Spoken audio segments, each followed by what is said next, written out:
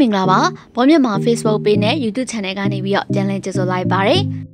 ပြီးခဲ့တဲ့အပြောင်းရွှေ့ကာလတစ်လျှောက်လုံးငိမ့်သက်နေခဲ့တဲ့ Spain အင်အားကြီးကလပ် Real Madrid အသင်းကပြောင်းရွှေ့နောက်ဆုံးရက်မှာပြင်သစ်ကလပ် Rennes အသင်းကနေလူငယ်ကျဲပွင့်တွေကာမာဗင်ကာကိုယူရိုတန်း30နဲ့ခေါ်ယူခဲ့ပါတယ်။ ကာမာဗင်ကာကိုမန်ယူတင်းဘက်ကချိတ်ဆက်မှုတွေရှိခဲ့ပေမဲ့ကစားသမားလေးကတော့တော်ဝင်ကျဲစင်စုရီယယ်မက်ဒရစ်အသင်းကိုသာရွေးချယ်သွားခဲ့တာဖြစ်ပါတယ်။ဒီတော့မန်ယူကိုညှင်းပယ်ပြီးရီယယ်ကိုရောက်သွားတဲ့ဒီချာတိတ်လီရဲ့အကြောင်းအရာချုပ်ကိုပြည်သက်ကြီးအနေနဲ့လည်းသိရှိချင်မယ်လို့ထင်တဲ့အတွက်ကြောင့်မလို့ကာမာဗင်ကာအကြောင်းသိကောင်းစရာလေးတွေကိုတက်ဆက်ပေးလိုက်ပါတယ်။နံပါတ်1စစ်ပေးချောင်စကန်မှာမွေးဖွားခဲ့တဲ့ကာမာဗင်ကာ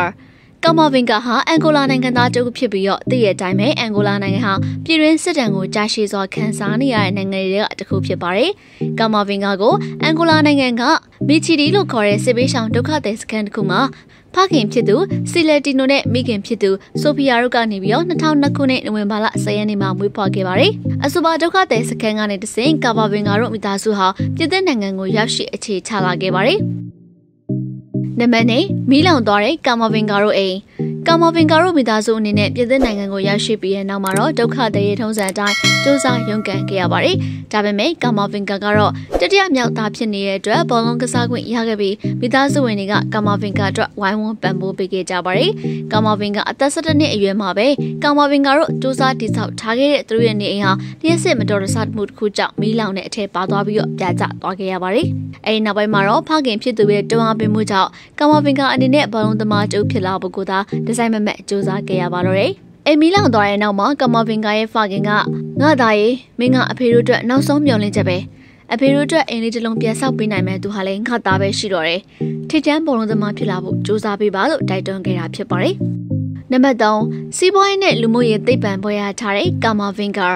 မတင်မထားတဲ့အခြေအနေတစ်ခုကနေမီးလောင်ပြီးတော့အိမ်လေးဆုံးရှုံးသွားရတဲ့ကာမာဗင်ကအနေနဲ့မတိချမှုအနေထားတွေကိုကောင်းကောင်းသဘောပေါက်ခဲ့ပါတယ်။တစ်ဖက်မှာဖခင်ဖြစ်သူရဲ့ဆန္ဒတိုင်းဘောလုံးသမားဖြစ်ဖို့ကြိုးစားနေပြီးတော့တစ်ချိန်တည်းမှာပဲကာမာဗင်ကပညာရေးကိုလည်းတခြားသောထွက်ပေါက်တစ်ခုဖြစ်လေ့လာလိုက်စားခဲ့ပါတယ်။ပညာရေးကိုလေ့ဟာခြင်းမရှိစေတဲ့ကာမာဗင်ကဟာ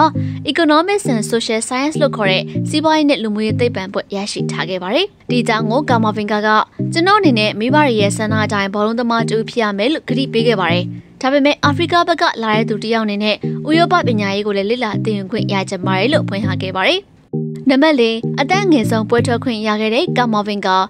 လက်ရှိမှာဆိုရင်တော့ကာမာဗင်ကဟာအသက်18နှစ်အရွယ်သားရှိနေသေးပေမဲ့စံချိန်မှတ်တမ်းတချို့ပိုင်ဆိုင်ထားနိုင်ပြီဖြစ်ပါတယ်။ကာဝါပင်ကအနေနဲ့အသက်16နှစ်နဲ့၄လအရွယ်မှာ Rennes အသင်းအတွက်စတင်ပွဲထွက်ခွင့်ရရှိခဲ့ပြီးကလပ်အသင်းသမိုင်းတစ်လျှောက်မှာအသက်အငယ်ဆုံးပွဲထွက်ခွင့်ရသူဖြစ်စံချိန်တင်နိုင်ခဲ့ပါတယ်။ကာမာဗင်ကအနေနဲ့ Rennes အသင်းအတွက်ပွဲထွက်ခွင့်ရခဲ့တာဟာအဓိကကစားသမားတူဖြစ်ပွဲထွက်ခွင့်ရခဲ့တာဖြစ်ပြီးတော့ 200တီအတွင်းမှာစုစုပေါင်း60တိတိကစားပေးနိုင်ခဲ့ပါတယ်။ဒါပြင်ကာမာဗင်ကကအသက်18နှစ်17လနဲ့ပြင်သစ်လေရွေးစင်အသင်းအတွက်ပွဲထွက်ခွင့်ရခဲ့ပြီးအသက်18နှစ်3လမှာတော့အသက်အငယ်ဆုံးပွဲထွက်ခွင့်ရသူဖြစ်စံချိန်တင်ထားတဲ့ကန်လီယန်အမ်ဘာပေရဲ့စံချိန်မှတ်တမ်းကိုပါကျော်ဖြတ်သွားနိုင်ခဲ့တာဖြစ်ပါတယ်။နံပါတ်9 Telke Vanguard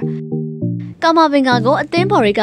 ချက်ကဗန်ကာလို့နာမည်ပြောင်းပေးထားကြပါတယ်။အကြောင်းရင်းကတော့ကာမာဗန်ကာဟာပြိုင်ဘက်စီကဘောလုံးလူယူမှုတွေကိုနှစ်သက်ခုံမီသူတူဖြစ်တာကြောင့်ပဲဖြစ်ပါတယ်။ကာမာဗင်ကာကကျွန်တော်ကအသင်းဖော်တွေအတွက်အကောင်းဆုံးပေးပို့မှုတွေကိုပြုလုပ်ရတာကိုနှစ်သက်ပါတယ်။ဒီလိုမလုပ်ခင်တော့ကျွန်တော်ဟာဘောလုံးရဖို့လိုအပ်ပါတယ်။ကျွန်တော်ပြိုင်ဘက်ချက်တောက်ထဲကဘောလုံးကိုလူယူရတာကိုလည်းသဘောကျပါတယ်။ဒါဟာကျွန်တော်တို့ပို့ပြီးတော့ပြောစရာကောင်းသလိုပဲ။ပြီးတော့ဘောလုံးလူတဲ့အခါမှာရှော့ထိုးပြီးတော့လူရတာကိုလည်းပို့ပြီးသဘောကျပါတယ်။။ ဘာဖြစ်လို့ဒီလိုလူရတာကိုသဘောကျမိတယ်လဲဆိုတော့ကျွန်တော်လည်းမသိပါဘူးလို့ကမ်မာဗင်ကာကတော့သူ့ရဲ့ကစားဟန်စတိုင်အကြောင်းကိုပြပြခဲ့ပူပါတယ်။ဒီလိုကစားဟန်တွေကြောင့်တက်ကယ်ဗင်ကာလို့နာမည်ပြောင်းရထားတာကတော့အံအားသစ်စရာတော့မဟုတ်ပါဘူးနော်။ဟုတ်ကဲ့ပါအခုလိုမျိုးစိတ်ဝင်စားစရာကောင်းတဲ့အားကစားသတင်းတွေကိုအမြဲတမ်းနားဆင်ကြနေဆိုရင်တော့ကျမတို့ရဲ့ဗော်မြမှာ Facebook page နဲ့ YouTube channel ကနေပြီးတော့တက်ဆက်ပေးမှာဖြစ်ပါတယ်အားလုံးပဲစောင့်မျှော်အားပေးနိုင်ပါတယ်